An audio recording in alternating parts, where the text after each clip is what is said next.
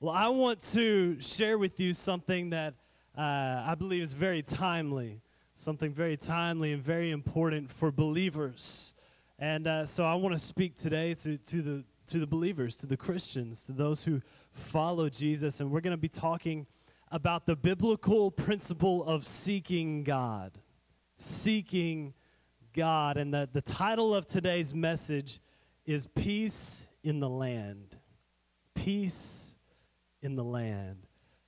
Now, that probably wouldn't describe what we see on television and our conversations that we have throughout the week. Uh, it probably is not a good description of, of what we see with our physical eyes in our country right now.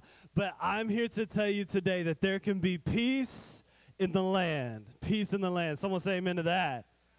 Come on. So, uh, if you would open your Bibles to Second Chronicles chapter 14, Second Chronicles 14. Matthew, Mark, Luke, John, Second Chronicles 14. Somewhere right there, right? Now it's going to be in the Old Testament. Second Chronicles 14. And over the next few times that I share with you, we're actually going to be in uh, this portion of Second Chronicles from 15 to chapter 20, but today, I'm sorry, 14 to chapter 20, but today we're going to look at the uh, chapter 14. It's only 15 verses long, so it's not a, a long portion of scripture, but I do want to read that uh, with you here in just a moment. So go ahead and put your finger there. But while you're looking for that, I want to talk to you about the principle of seeking God. Seeking God. It's a biblical principle found all throughout the Bible, Old Testament and New Testament. And here is the wonderful thing about this biblical principle is that almost in every time you see it in the Word of God, there is a promise attached to it. And the promise is that if you seek God, you will be blessed. Come on, I don't know if you heard that. If you seek God, you will be blessed. Come on. This is good, church. This is good. I want to show you that right here. Uh, we're going to start in the Old Testament, Deuteronomy chapter 4, verse 29. You don't have to turn there, but I want to read it for you. It says, But from there you will search again for the Lord your God, and if you search for him with all your heart and soul, you will find him. That's good. That's good. Jeremiah 29, verse 13. This is God speaking. He says, If you look for me wholeheartedly, you will find me. Proverbs chapter 3, verse 6 says, Seek his will in all you do, and he will show you which path to take. Have you ever been, you, you've, you've had a couple of big decisions to make right in front of you, one or the other? Have you ever been in that place where you say, God, what do I do? What do I do? Do I go this way or do I go that way? I love this biblical promise right here that if you seek Him, seek His will in all you do, He will show you which path to take. It's an incredible promise. Now let's look at the New Testament, Luke chapter 12, verse 31. It says, Seek the kingdom of God above all else, and He will give you everything you need. That's an incredible promise right there. It's an incredible, we don't have, as Christians, let me just say this, as Christians, we do not have to stress about the things we need. We just have to seek God. It's incredible, absolutely incredible. Uh, Hebrews chapter 11, verse 6 says, And it is impossible to please God without faith. Anyone who wants to come to him must believe that God exists. And number two, he must believe that he rewards those who sincerely seek him. There's a, a this is a biblical principle, church. If we will seek God, He is a rewarder. He will give you the, the benefits and the blessings of heaven. And if you seek Him, the promise is there that you will find Him. Here's the last portion of Scripture I want to, uh, actually, I'm sorry, two more, I lied. Matthew chapter 7, verse 7 through 8. It says, Keep on asking, and you will receive what you ask for. Keep on Come on, help me. Keep on. Keep on seeking, and you will find. Keep on knocking, and the door will be open to you. For everyone who asks receives, check this out, Everyone who seeks finds, and to everyone who knocks, the door will be open. And here's the last verse John chapter 6, verse 5 and 6. It says, Jesus soon saw a huge crowd of people coming to look for him. They were coming to look for him. Turning to Philip, Jesus asked, Where can we buy bread to feed all these people? I love this next verse, though. He was testing Philip, for he already knew what he was going to do. This, this biblical principle is so dear to God's heart. I love this. The people, they were coming to look for, they were looking for Jesus. Jesus sees this huge crowd as they're, they're forming and they're, they're looking around. Where is he? Where's the miracle worker? Where's the guy we've been hearing about? Jesus sees them coming and he asks Philip, he's like, hey, you see these people?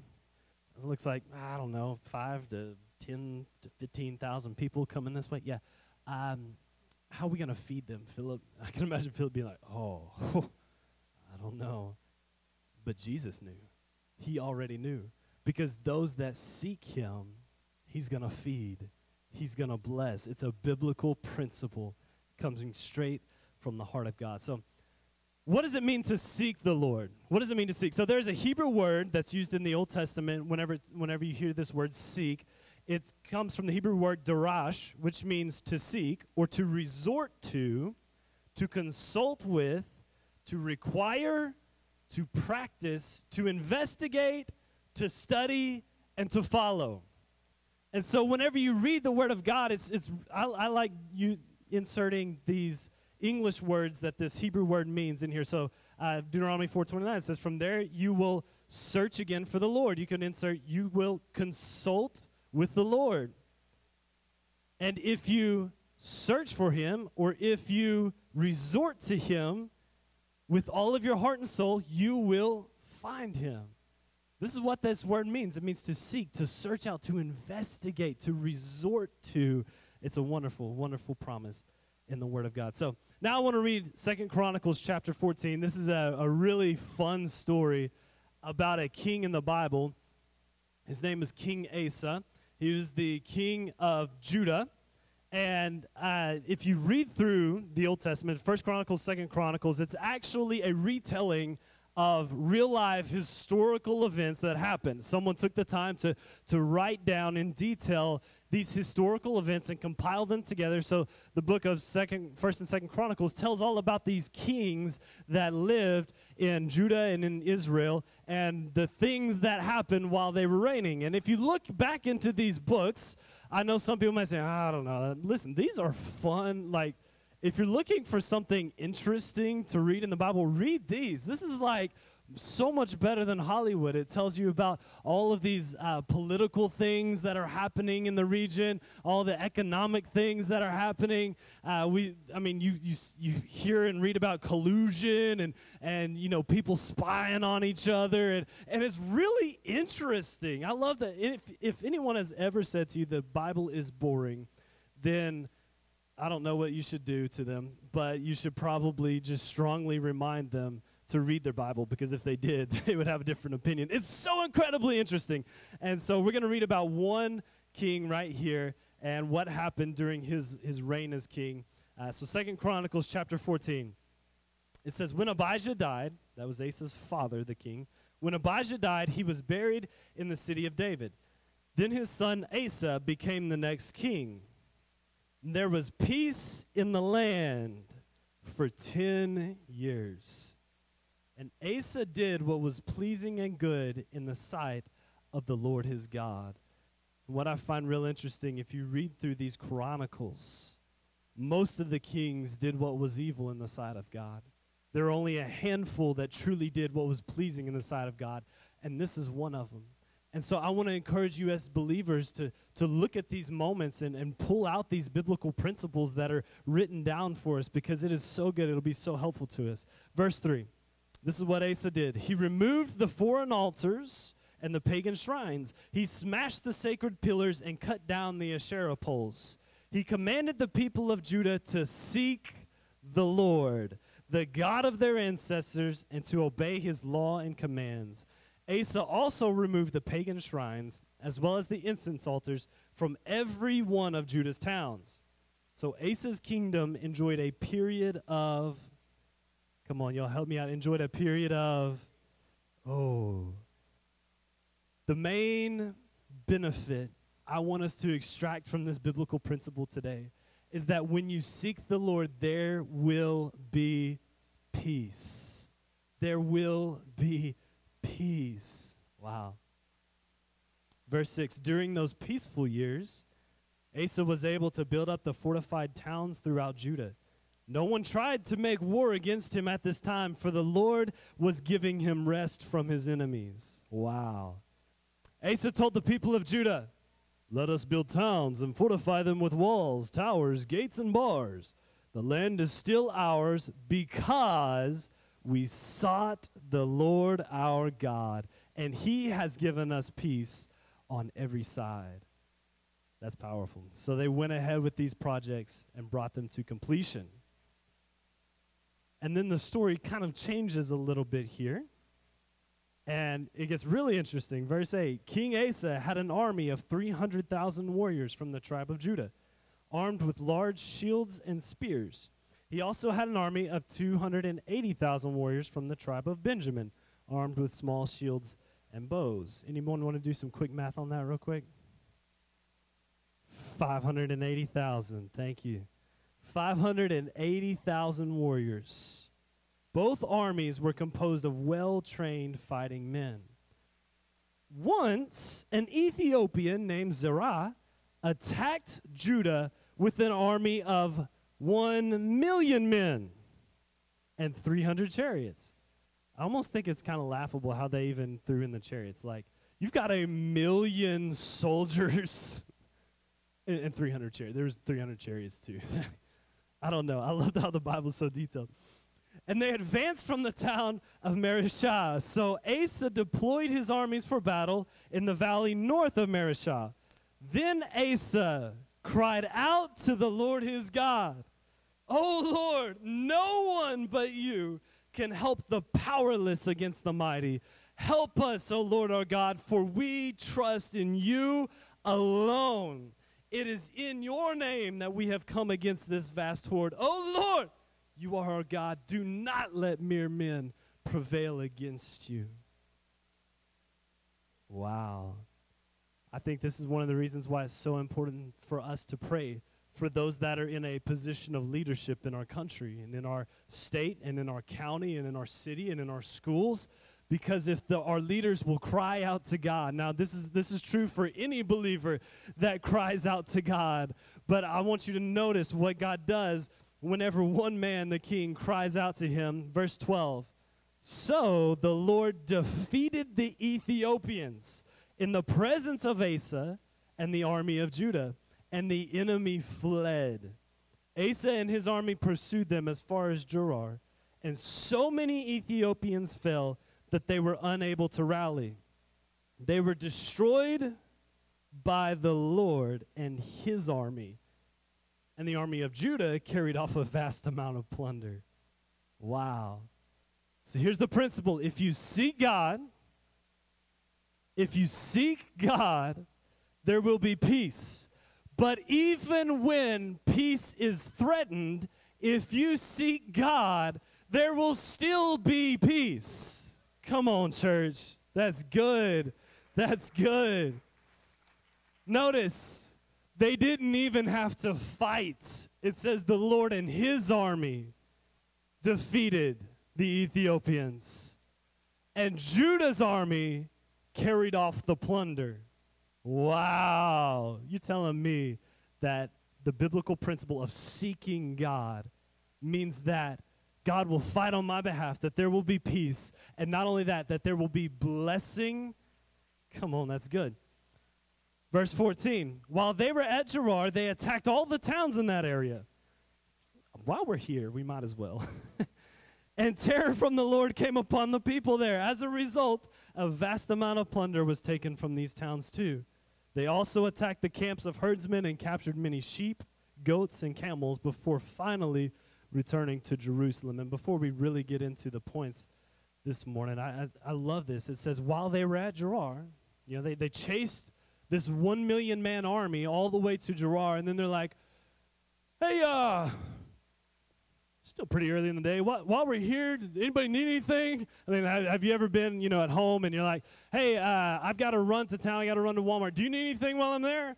I mean, it's almost like this was their mentality. There was so much peace in the land. It's like they're, they're, they're chasing this army and they're like, hey, while we're here, should we just go ahead and attack some of our other enemies? Like, I don't know, we might as well. Everybody's here. There's 580,000 of us. We got all of our spears and stuff. So let's let's go ahead. And they just start attacking their enemies all around that area. And then they on the way back to Jerusalem, they they attack their enemies in the fields and and they carry off all this plunder back.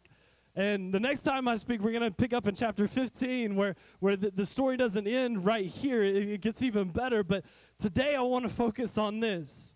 Point number one the first thing King Asa did in seeking the Lord was he eliminated distractions. He eliminated distractions. Now, I'm not a, uh, l- let me put it this way I, I'm a pretty organized person. At home, I've, I've got a place for everything, and everything is in its place. And so I, I tend to get, I'm, I'll tell myself, I tend to get frustrated when I have to look for something. I don't like looking for things. I like to know where my things are. And I have a place for all of my things. And if my things aren't in their place, then what I do is does anybody know?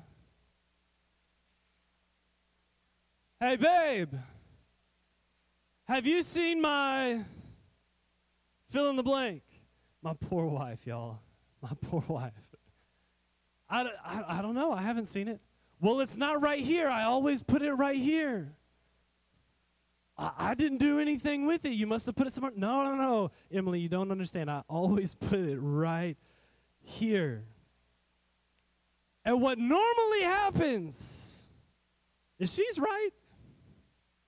When the other day is right before Christmas, we were doing a little bit of online shopping and and uh, I can't remember if I was on Amazon or, or what site I was on buying something, and and uh, I had to get my card because it was saying, "Hey, your card needs to be updated." So I went in there, you know, I had to grab my card and find the security code and the date, and and type that all into the website there, and and uh, update my card. And I was, we were doing some online shopping, some Christmas shopping for family, and we were both sitting there on the couch. We don't even hardly go to stores anymore to buy things. Is that bad? I don't know, but uh, we we have one day. It's usually Black Friday. We, we sit on our couch. We put on a Christmas movie after the kids have gone to bed. We make some hot chocolate and we sit there and we do all of our Christmas shopping in one night. It's incredible. It's a, it's a blessing. But, anyways, what happened was I took out my wallet, took out my card, and I updated it and I set it right there beside the couch. The next morning, whenever I get up, I cannot find my wallet. And so I go to my poor little wife and I, Emily, where is my, have you seen it? Did you move it? Is, did the boys get it? I've got one boy that he's into everything. And so I'm like, did one of them get it? Have you seen it anywhere? And so I'm going around the house blaming everybody, and I was the one that left it out. I do not like to look for things. I don't. My wife, she's not quite as organized as I would like for her to be. Uh, is there any other couple? Are we the only couple in the world that's that's like that.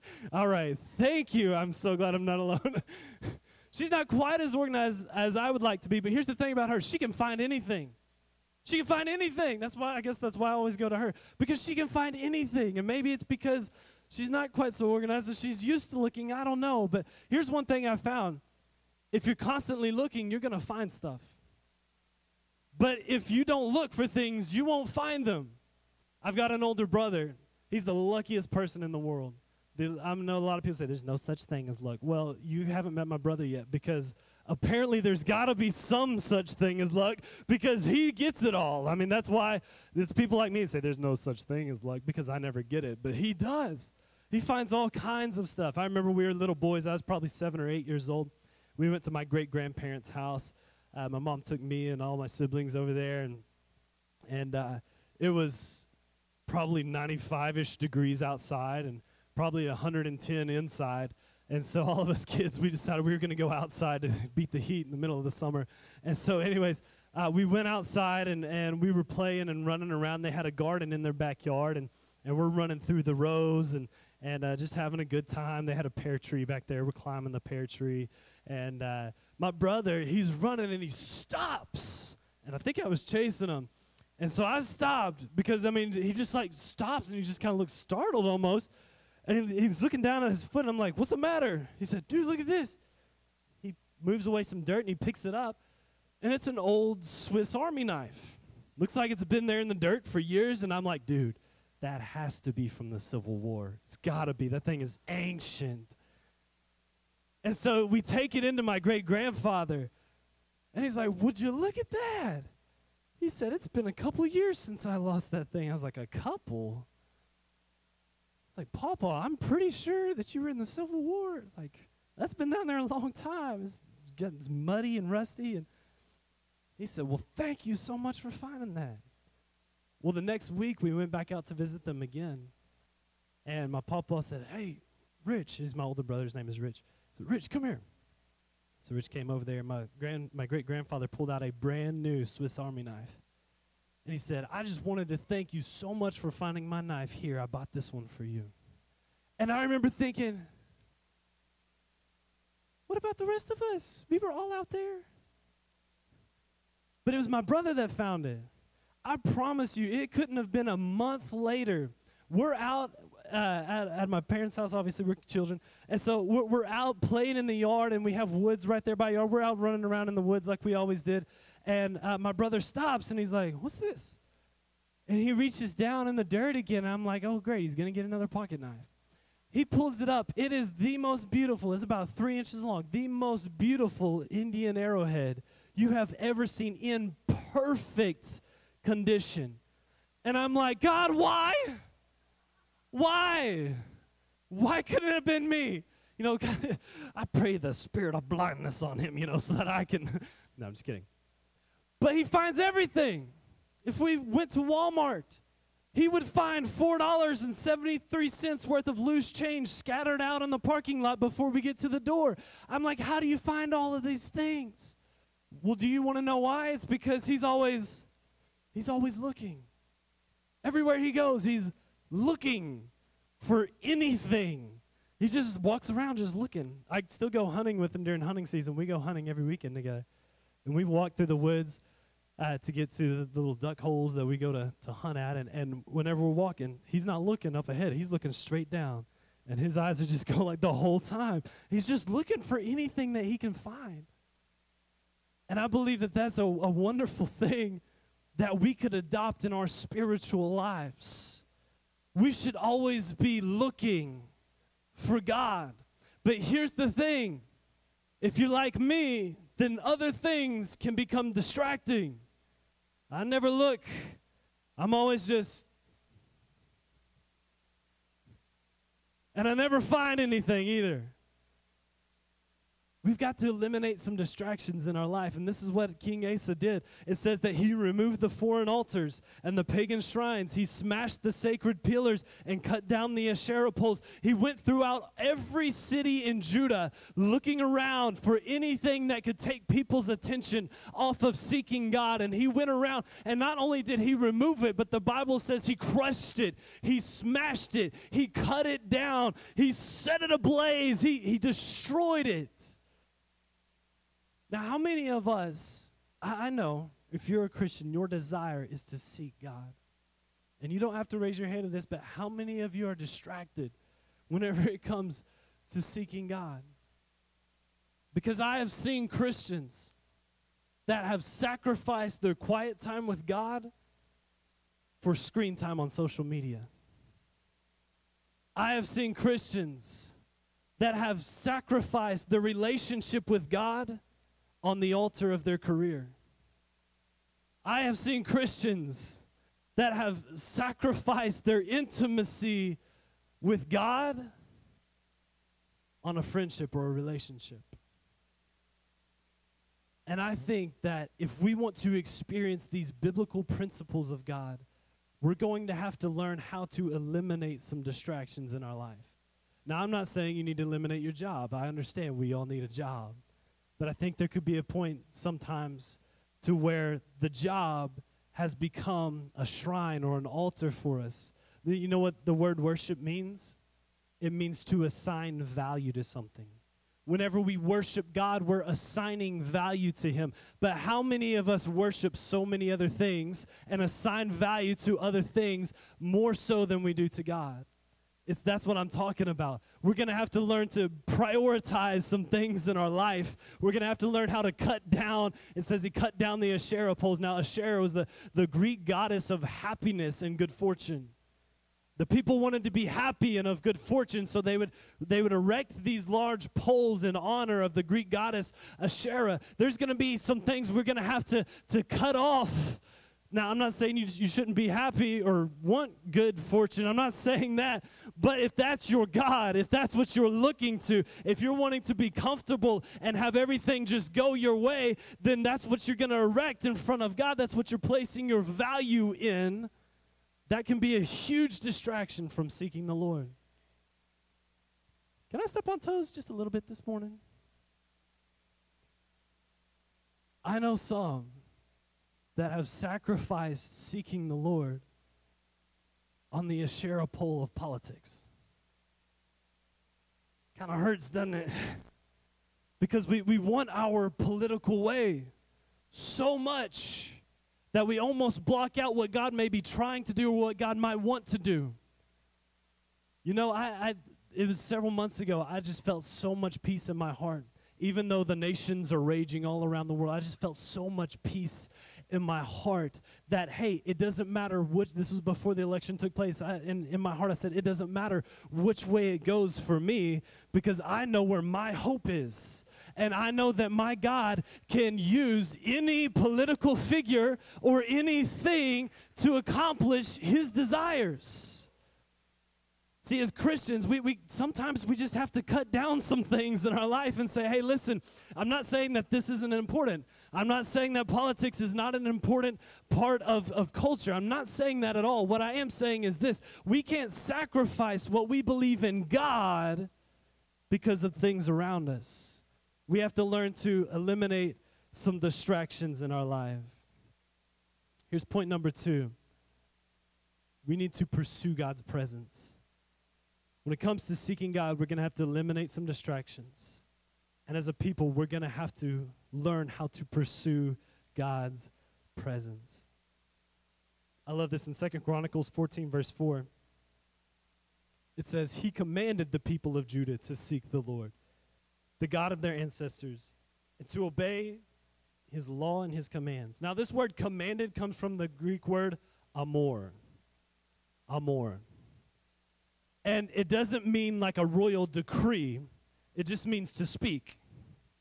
And so it says, Asa commanded the people. He didn't say, hey, there's this royal decree, and if you violate this royal decree, off with your head. That's not what he's saying. It's saying Asa commanded the people, Asa spoke to the people. In other words, Asa's determination to seek the Lord and Asa being vocal about seeking God challenged the people of Judah to do the same. It was an example that he was leaving for the people that he was leading. Asa sought the Lord. And because he was so determined to do so, the people that were under him looked to him and said, Hey, I can do that too. I can do that too. We should pursue God's presence. We should pursue God's presence.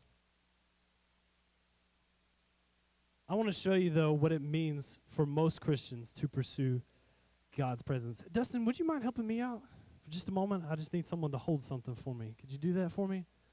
Thank you.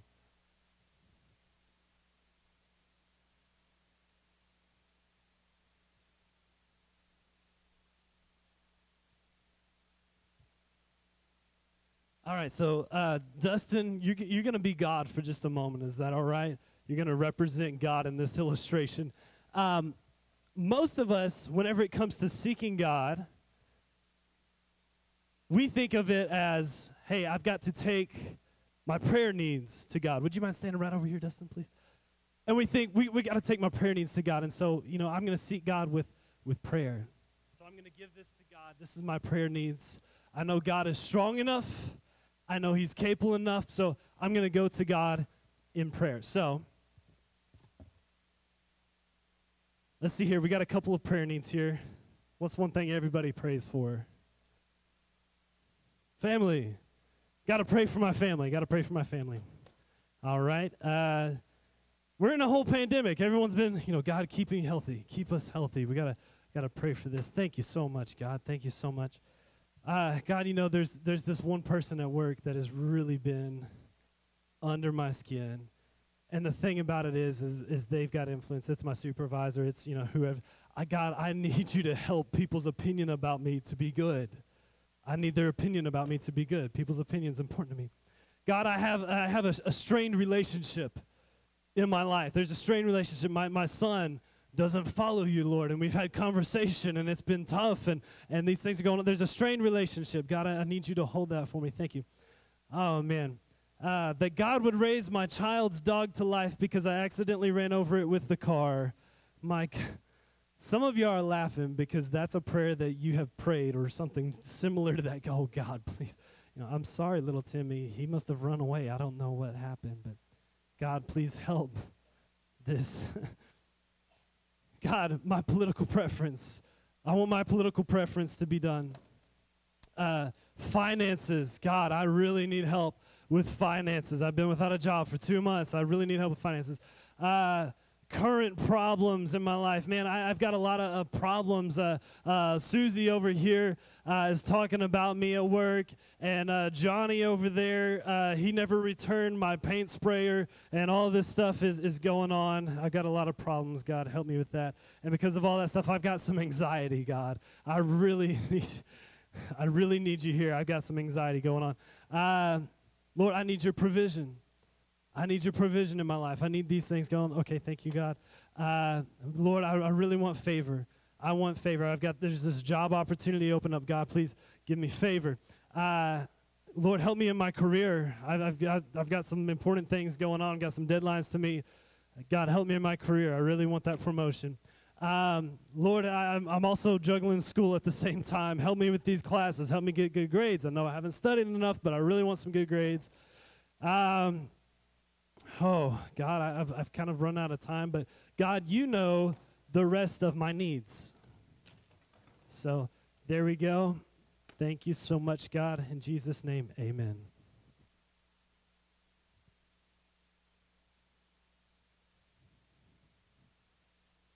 Now, the Bible tells us to make our requests made known to God. I'm not saying don't pray for these things. None of those things were, were bad things to pray about.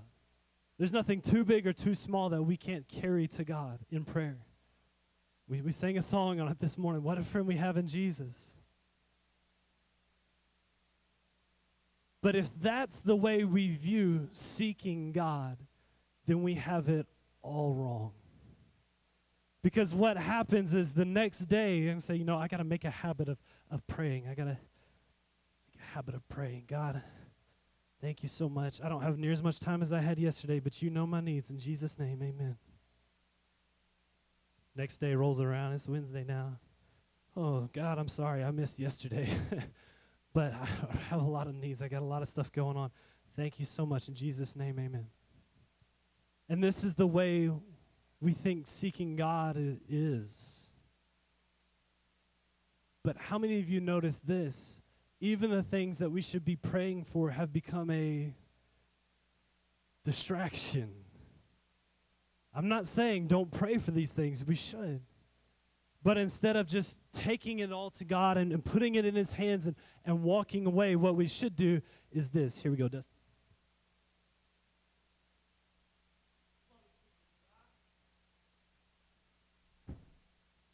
I've got a lot of things going on. Obviously, you know that. But for just a moment, I just want to talk to you.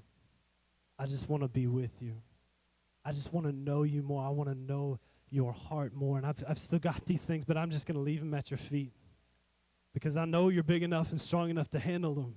I've seen you do it before, I'll see you do it again.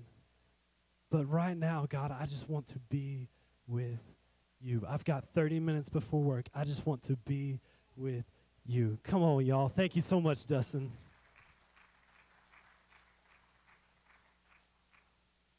we've got to learn how to pursue the presence of God. To pursue his presence, not just his, his gifts, his presence, but his presence, who he is. We got to pursue his heart. So I want to show you, this is helpful for me. I'm not saying that there's a magical formula to pursuing the presence of God. I'm not saying that at all. But here's some things that help me out whenever it comes to a personal prayer time. If you're taking notes, write these things down because even if you've been praying for years and years and years and years and years, maybe this is some one of these things is something that you could apply in your life that could help change some things and make this relationship with God fresh. So here's number 1, set an appointment. Set an appointment whenever it comes to seeking the presence of God, I have found it helpful for me to set an appointment. Because if I don't, there's going to be other distractions, other things come up. Instead, you set an appointment, you say, hey, listen, you know, I'm going to shut my bedroom door. Y'all don't bother me until I come out. I've got an appointment with Jesus right now. set an appointment. This is biblical. In Luke chapter 5, verse 16, it says, Jesus often withdrew to the wilderness for prayer. It was often. He had a routine. He had something that he did continually and on a, on a schedule almost. He set an appointment. Here's number two. So after you set an appointment, you get in that place where you can where things can be quiet. Here's number two. Be still and worship. Be still and worship. Psalms 100 verse 4 says, Enter his gates with thanksgiving and into his courts with praise. Give thanks to him and praise his name. You know, the very best way you could start off your prayer time with is just being thankful. Again, not, God, these are all my needs. This is what I have going on. But God, you are good. And now that I'm praying about it, I remember what you did this last week. I hadn't even thought about it. God, I'm so sorry. I hadn't even thought about it, but you were so good and you moved in that situation. And, and I didn't even recognize it until right now as I'm giving you thanks. And, and you, I mean, honestly just pump God up. Not that he can be lifted up or, or, or pumped up, but just, just praise him. Just give him thanks. Let that be the way you enter into his presence. Here's the third thing pray. Bring those needs to God. And I think a great thing that has helped me out is I write down my prayers. I write them down because I'm able to go back and look at them and think, oh, I forgot to pray for that this week. I'm glad I wrote that down. Or I'm able to go back and look and say, hey, God, you answered this. I didn't even realize, but you answered this prayer. Thank you. It's a wonderful thing that you can do in your prayer time. And here's the last thing. So there's just four things set an appointment, worship and praise, pray and, and write it down. And here's the fourth thing read the Bible and listen for God to speak. Before you open up your Bible, just say, Holy Spirit, I pray today that you would help these words to come alive in my heart. That what I read today, I would be able to apply in my life today in Jesus' name. And then read the Word of God and listen for the Holy Spirit to speak. There may be one word on that page that jumps out to you, and it could change the entire outlook of the rest of your day. It's incredible. We just have to learn to seek the presence of God. And I understand that things seem crazy right now. And it it makes I'm a very practical person. This is why I'm giving practical uh, tips on how to do some things because I'm a very practical person. And to me, it, I, I fight within myself between the spiritual and the practical because if I see something that's wrong over here, I in my flesh want to attack that with a practical solution. But a lot of times there's not a practical solution, but there's a spiritual solution. And so I look for practical ways to deal with things. If I got a prayer need, sometimes I won't even pray to God about it. Sometimes I'll just try to figure it out on my own. Anybody ever done that? And later on, you're like, man, I should I really should have prayed about that. That's on me. My goodness. We want to attack things with practical solutions. But I want you to notice what happens when you seek the, the heart and the presence of God is that He works in those areas. I want you to notice the Bible tells us in, in uh, 2 Chronicles 14, what we just read earlier. The Bible tells us in verse 9, it says, Once an Ethiopian named Zerah attacked Judah with an army of a million men and 300 chariots. Now, I feel like I should remind you, First and Second Chronicles is a historical account of real events that took place. Let me ask you did, did you go to school and read in history books about events and they never told you the date? No. Any event you read about in historical books, they, they tell you the date that it occurred because it's important, right? I love how there was so much peace in the kingdom of Judah that the person who's chronicling these events is just like, oh, hey, y'all remember that time uh, there was a million men? What was his name? Uh, Zerah. He, he and a million men attacked Judah. What year was that? Was that the second year of Asa's, third year of Asa's reign?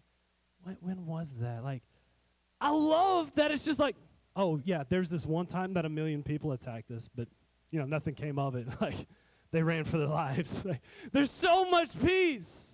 And Asa, instead of going into the presence and praying, he could have said, Hey, we, we got to round up more troops. We've got 580,000. We need to go get every person of fighting age. We need to go house to house and grab every spear, every knife, every shield, every piece of armor that we could possibly collect because we're about to be attacked by a million people. That would have been my response. But I love Asa. His heart was so set on seeking the Lord that he took what he already had and said, "Okay, y'all y'all set up over here, y'all set up over here. I'll be right back. I got to go get in the presence of God." And he went and he sought the Lord for the issue. And because he sought the Lord, the Lord fought on their behalf.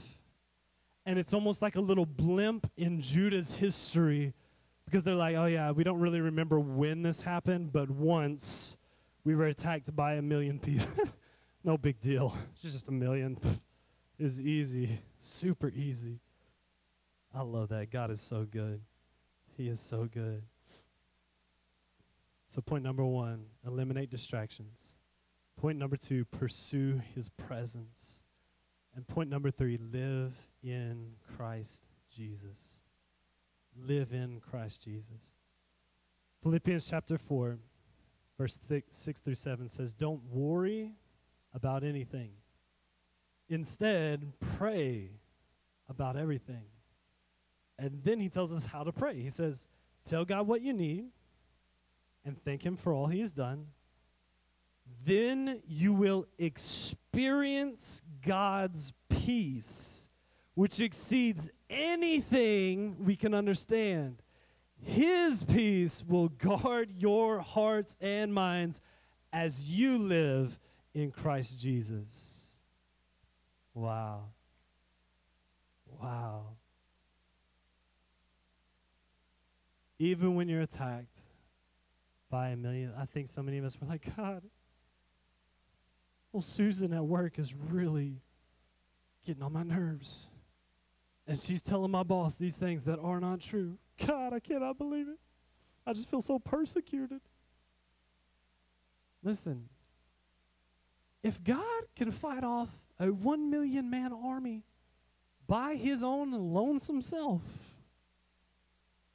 then what could he do in your life too if we would just learn to seek his presence? If we would just learn to live in Christ Jesus? and allow that peace to guard our hearts and minds. Can I encourage you today? If you are at all anxious about anything that's going on in our world today, I want to encourage you to take a day off. If you possibly can, say, you know, hey, boss, is it all right if I take off next week on Tuesday? To, I mean, literally take some time and get in the presence of God. Devote some time to that. Seek his presence and make it a habit in your life because for those that live in Christ Jesus, it tells me here that God's peace will guard your heart and mind. We don't have, to, this is so good. And I know this sounds cliche to say as a Christian, but we don't have to worry about anything. We literally have nothing to worry about. It says, uh, well, let's read it again. First Corinthians or uh, Philippians chapter 4 it says, "Don't worry about anything." Anything at all. Don't worry about it. Live in Christ Jesus, and His peace will guard your heart and your mind. So good. It's so good. Here's the wonderful thing about that. When we are at peace in Christ Jesus, nothing and no one can take that away from you. Nothing And no one, a one million man army included, cannot take that peace from you. John chapter 14, verse 27. I am leaving you with a gift. Here's the gift peace of mind and heart. And the peace I give is a gift that the world cannot give. So don't be troubled or afraid. For those who live in Christ Jesus, we have been given a gift of peace of mind and heart. Y'all know the song. The world didn't give it, and the world can't take it away. Thank you, God. Here's the last verse I want to share with you this morning Colossians 3, verse 15. And let the peace that comes from Christ rule in your hearts. For as members of one body, you are called to live in peace and always be thankful. Always be thankful. In 2021, we have so many reasons to be thankful. So many reasons. We always have a reason to be thankful. But I love this. It says, Let the peace that comes from Christ rule in your hearts. This word rule, I, I love sports. Any sports fans in here? Does anybody like baseball anymore? I love it's that's my sport. Come on, Jim Davenport. I'm with you. I like football, I like basketball. Those are great, but baseball is still king in my heart. Not king over Jesus, of course, but I love baseball. And the term that Paul, as he's writing this in Colossians 3, Paul is writing to the church in Colossae, and he tells them this let the peace that comes from Christ rule in your hearts. That word rule means to umpire, it's a sports term. Paul is using sports terms to preach the gospel. He says, Let the peace of Christ umpire in your heart. Now, it's not so much today, but uh, back several years ago, before instant replay, if the umpire made a call, that was it. You could argue that the manager could go and kick dust on the umpire and spit on his shoes. He could argue until he's blue in the face. It did not matter. The umpire's rule is what stood. And that's what that's the way God wants us to view this. Let his peace rule in your hearts. Let his peace call the shots in your life. Don't let don't let the culture determine your peace. Don't let culture determine your outlook or or anything that you don't don't let those things determine any outcome of your life. Let the peace that comes from Christ rule in your hearts. Let that call the shots. So this week, I want to challenge you. I know I kind of already gave you a challenge to to take a day this next week that you could just cut out a, a, section of time from your day to just spend in the presence of God. But maybe that's not a, uh, maybe that's something that you can't do this week. Here's something everyone can do this week, though, is just start each morning with an appointment. Set an appointment each morning. And if I could give you any advice, because this is something I've struggled with and I know all too well, uh, but this thing right here, if this is the first thing you look at in the mornings, maybe for this next week, whenever you wake up, maybe just don't look at that until you've spent time in the presence of God. Because I know it's real easy to get on this and to look at things, and that kind of sets the tone for the rest of your day. You're already upset, you're already frustrated before you even get out of bed sometimes. But instead, this week, set an appointment with God, eliminate the distractions pursue his presence, not just the things he can give, but pursue his presence and live each day in Christ Jesus. Lord, we love you so much. God, we thank you for your heart. We thank you for your word, God. And I pray that this week, the people of God, the believers, those who trust in you, that we would be that kind of person that just starts each day in your presence that we would just become staunch about it. Like don't don't disturb me. I'm going to make my coffee. Leave me alone until i've been in god's presence. God i pray that that would be our attitude that that would be our heart lord that we would desire your presence more than anything else in our life. And god i thank you for the principle behind seeking you the promise that you've given us that those who seek you will be blessed. And those that seek you live at peace. God, we thank you so much for your word. And I pray that we would apply that to our hearts and our lives this week. In Jesus' name. Come on, someone say amen. Amen. Be blessed in the Lord this week. Leave in peace and have peace all this week because He is a good God. He is a good God.